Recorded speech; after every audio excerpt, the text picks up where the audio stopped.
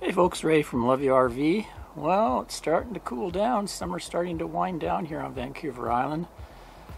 And out here, this is actually not fog. This is smoke from the, the western fires down in the U.S. has finally uh, made its way up here and enveloped the whole uh, Vancouver Island. But uh, supposedly it's supposed to go away in a day or so. So I'm hoping it goes away anyway.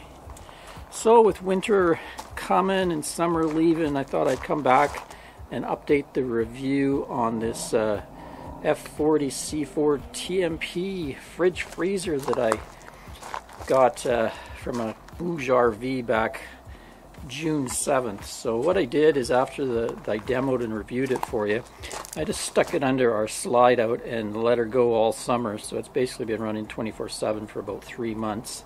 Um, I did test it as a freezer over the summer when it got really hot, and it seemed to work pretty good as a freezer even in the really hot weather.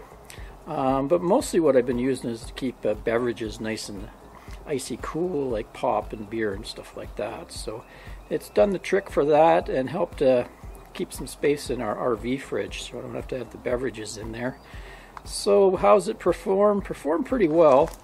Although I have found that the temperature tends to uh, be a little higher than what I read on this temperature monitor here. This is showing 36.9 right now, and this thing is showing that it's 32, but it's um, a little off, a little bit of variation. Um, you can see, I actually have it set for 30 just so it's turning on, but usually I would set this for about 33, and I found it would keep the pop quite cool, kind of like refrigerator cool. So it worked out good, but this thing is not totally accurate. It kind of varies as the compressor kicks it on and off.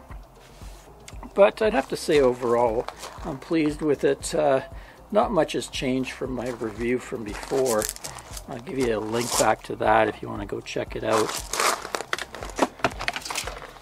Stacked full of uh, coolers and stuff there. Um, yeah, like I said in my review, this lid was kind of the least favorite part of the thing and the catch. And it's kind of a little loose too. So I think they could improve on their lid. It would be nice if they had a catch that was kind of like a clamp versus this uh, plastic affair. Let's look at how the rubber seals held up. And got a bug in there. Seems to have been okay. Inside's looking good. No problems there. Let's give you a quick look inside here and I'll listen to the compressor and fan. So I don't see any signs of any wiring overheating or anything. It's not even really dirty. Compressor hasn't really changed or got louder at all over the course of the months. And the fan has stayed quiet too, so overall I'm pleased with the setup down there. So for its price, I think it went for about $3.49. I'll probably keep it over the winter. Probably won't need it too much in the winter to keep things cool, but uh, I'll continue having it under the slide. What I did is I put it under our slide out, so this thing hasn't been babied or anything at all. Just under the slide so the weather couldn't really get at it as far as rain, but it was out in out in the elements under there, just partially sheltered. Um, I'm starting to get prepped for winter now, so just uh, let you know a few things, reviews I'm going to have coming.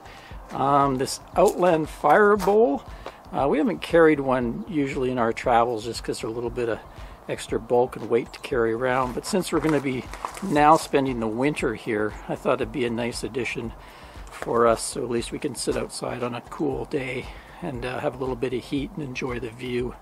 Uh, and got that for my birthday, upcoming birthday, so it's nice of her. Thanks, Anne. And also, I ordered myself and purchased a skirting kit. Now this one's made by a company called EZ Snap, same company that I uh, got the the shades, window shades from. So that's why I kind of went with them. Um, it's kind of a middle ground between DIY DIYing yourself a little cheaper or going whole hog with a custom vinyl skirting kit, uh, all custom made for the RV. Even still, it's it's going to cost me pretty close to $2,000 for the kit. and I had to buy some piping. You see, I'm just in the process of lay, laying out piping. So stay tuned for that. I'm going to have a couple install videos for you.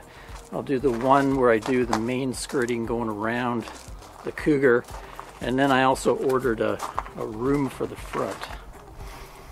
You look at the snaps in here.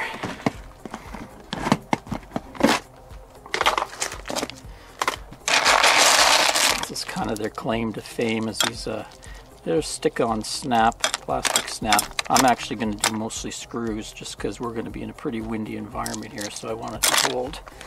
Anyway, I won't get too far into it today. Just uh, expect that in the upcoming uh, weeks. And have a couple videos for that.